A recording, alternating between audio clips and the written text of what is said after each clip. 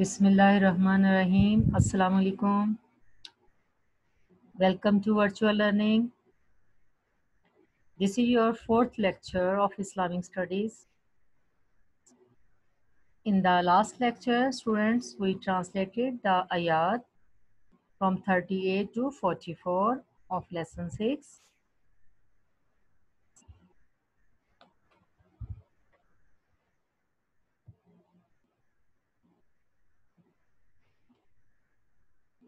Today, we are going to do lesson 6, part 2.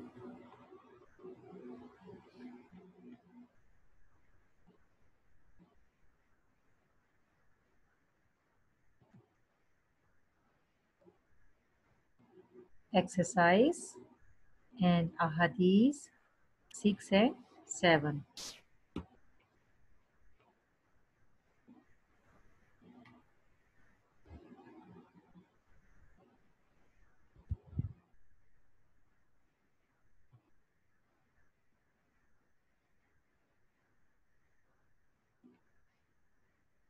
Words and compounds.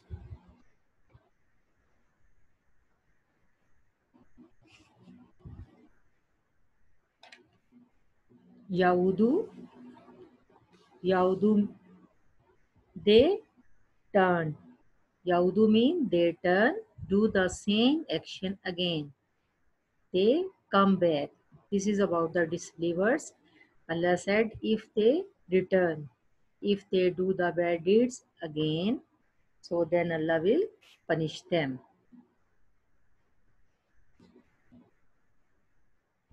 Madat, what occurred in the past.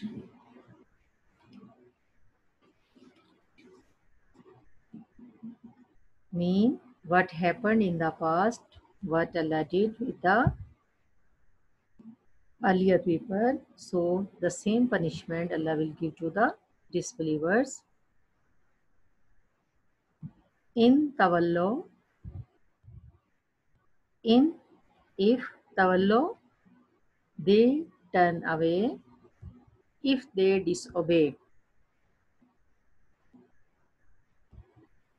if they disobey, then Allah will give them severe punishment. Number four, Namal Maula. Allah is the name, best Maula, protector. Allah is the best protector. Next, Annama Ghanimtum. Annama Ghanimtum, indeed, the spoils of war you take. Number six, Ibn Sabil. Ibn Sabili mean the traveler, wayfarer.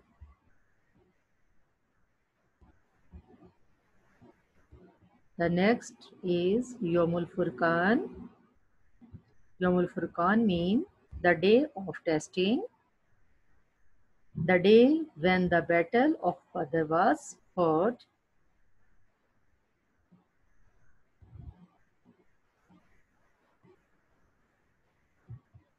Number eight, Al Udwati. Al Udwati mean at the end, Dunya at the at the end of Dunya near. The near end of the valley of Medina. The Muslims were at the near end of the valley of Medina. Al Adwatil Uswa. The yonder, the yonder end, the faraway end. Disbelievers were at the faraway end. Rakbu, Rakbu mean Karwan.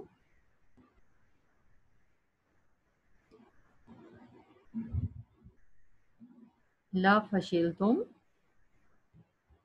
you would have been disheartened. La to mean disheartened or discouraged. This is about that before the battle of badr allah showed the believers in their dreams that the disbelievers are few in number. So if allah showed them the disbelievers. That believers are in great number then they then they disheartened or encouraged. The last word is yukallilukum. Yukallilu from kalil few less in number. Yukallilu few kum you mean see you in less number. Allah made the disbelievers see you in less number or few number.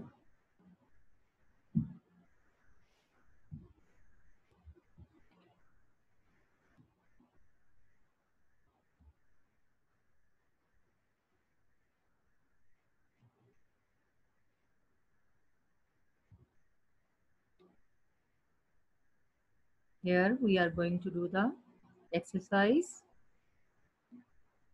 Answer these questions. There are three questions. One, two, and three. Question number one, we will not do. This is not in our syllabus. We have to do question two, three, and four. Okay. Mark your questions 2, 3 and 4.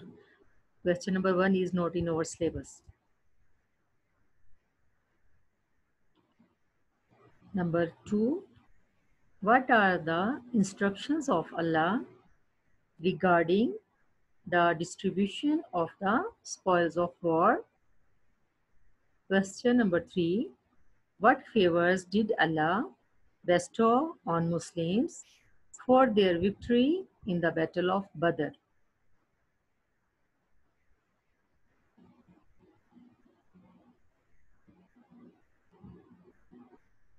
Number four, explain the following passages of the Holy Quran in your own words. Number one, Wakatiluhum, keep on fighting whom with the with them mean disbelievers wakatiluhum keep on fighting with them hatta until La, no. Takunu, there will be no. Fitnatun, mischief. Until there is no more mischief. Vayakunu, and there will. Dinu, deen, religion. Kulluhu, all. Lillahi, for Allah. Allah said to the believers, keep on fighting with them until there is no more mischief and all the religion for Allah. Next one. Liyuhlika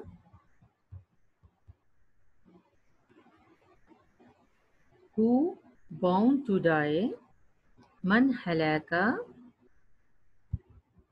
might die unbayinatin with the bayinatin clear sign.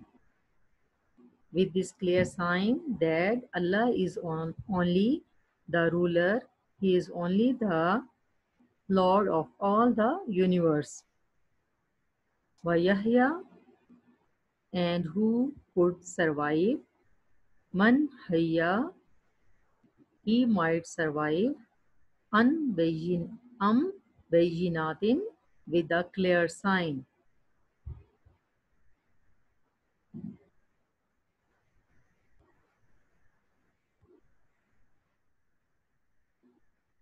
Number three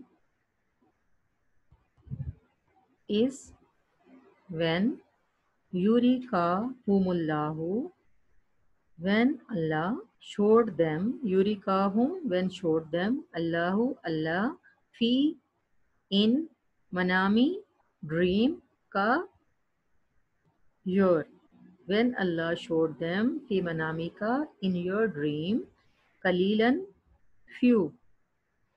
When Allah showed them in your dreams few in number.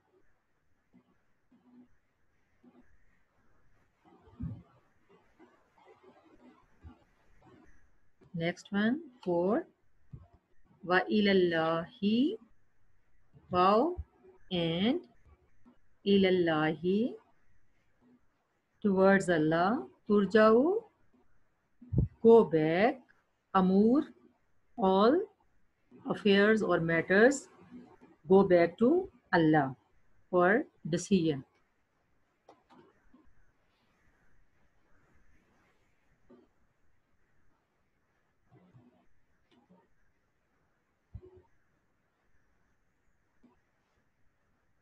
Here students, we will do the questions and answers. Question number one, what are the instructions of Allah regarding the distribution of the spoils of war? Answer, Allah ordered that the spoils of war will be divided into five shares. Four shares will be distributed to the soldiers who fought in the battle. Fifth share will be divided into five categories. These categories are Number one, Allah subhanahu wa ta'ala and Prophet Muhammad sallallahu alayhi wasallam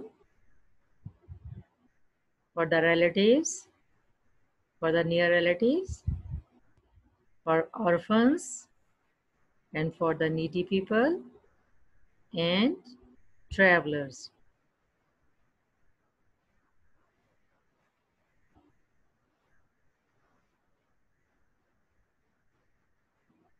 Question number two.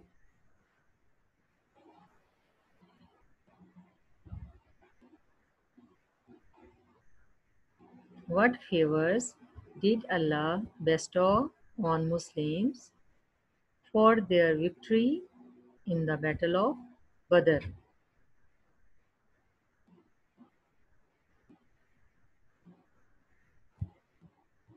There were two favors that Allah bestowed upon Muslims for their victory in the Battle of Badr.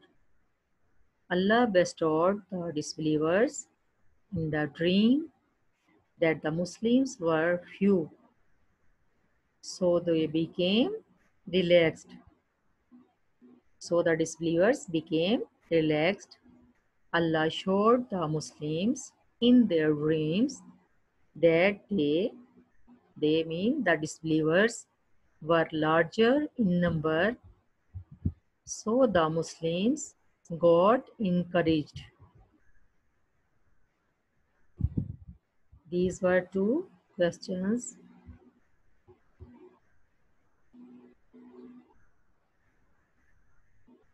Now our this lesson 6 is finished.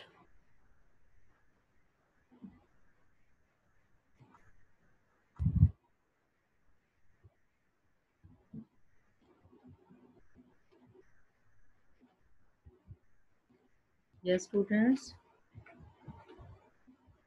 Now we will start our, our uh, unit B, a Hadith part. In ninth class, our syllabus is a Hadith from 1 to 10. 1 to 5, we have to write the translation, explanation, and relationship of hadith with our practical life 1 to 5 are these so And 6 to 10 hadith, you will write only translation of the because the board reduced the syllabus. So first five hadiths, 1 to 5, we will write the translation, we will explain and write the relationship of hadith with our practical life. And 6 to 10 ahadith, you will write only the translation of the ahadith.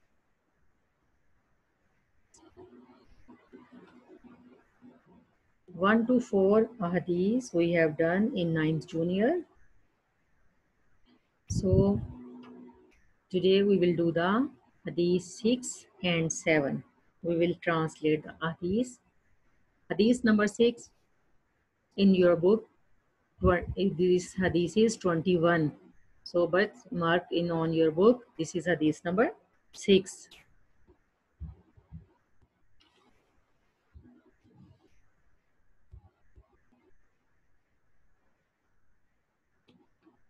Man, who, ahabba,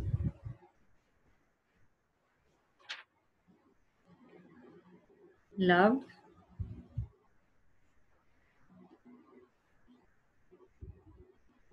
لله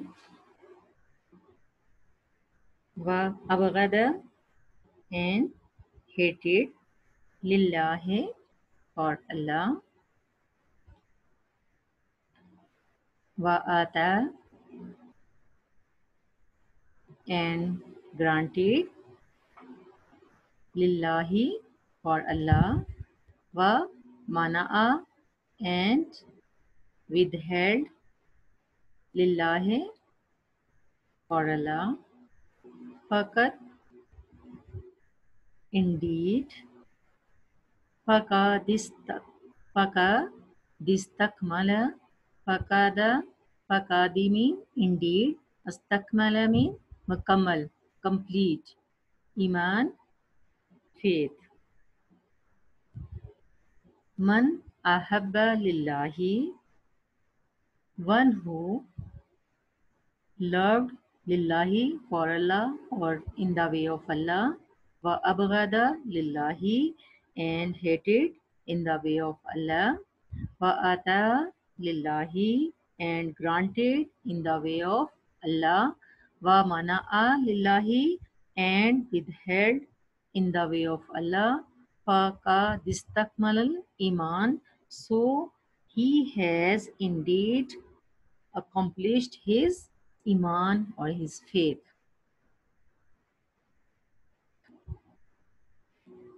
this hadith describes the four basic principles for the accomplishment of faith. Number one, if one loves somebody, one should do in the way of Allah.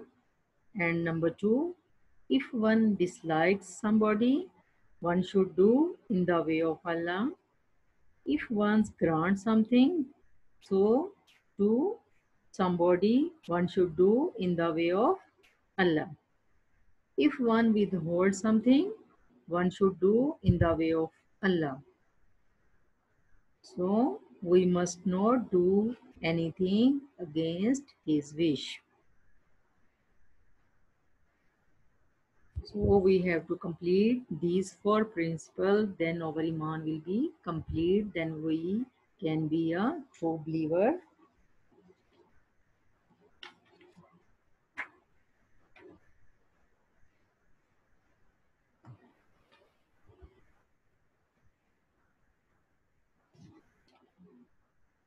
this hadith number 5 in your book this is hadith number 5 but this is hadith number 7 please mark on your book hadith 7 okay?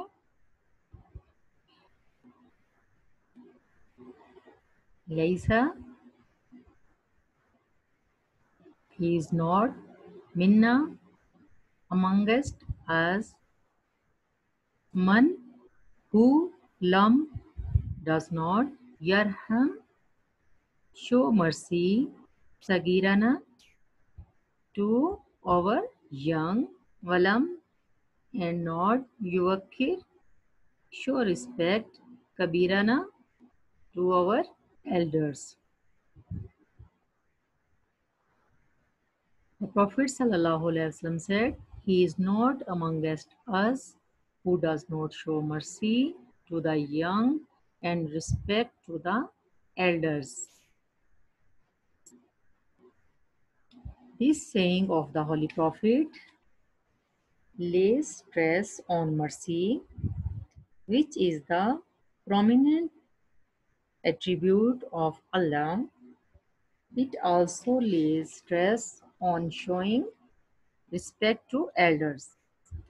The young deserve most that you should have mercy on them, and the elders usually deserve that you should show respect to them. In view of the said right of the children and that of the elders, the Holy Prophet ﷺ has emphasized that one who does not have mercy on the young and show respect to the elders is not amongst us.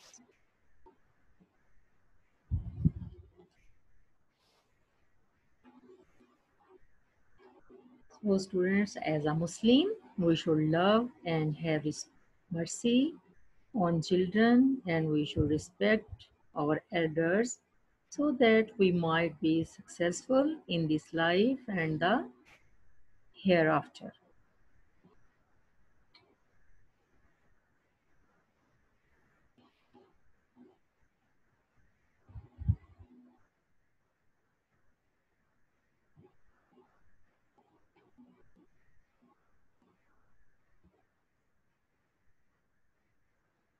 Thanks for watching and paying attention.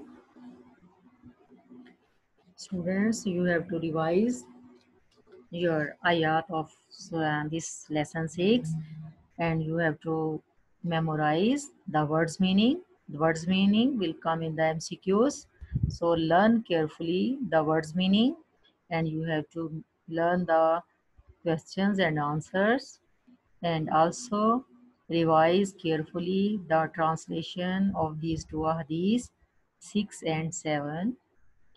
So I will see you in your next lecture. Till then, take care. Bye bye.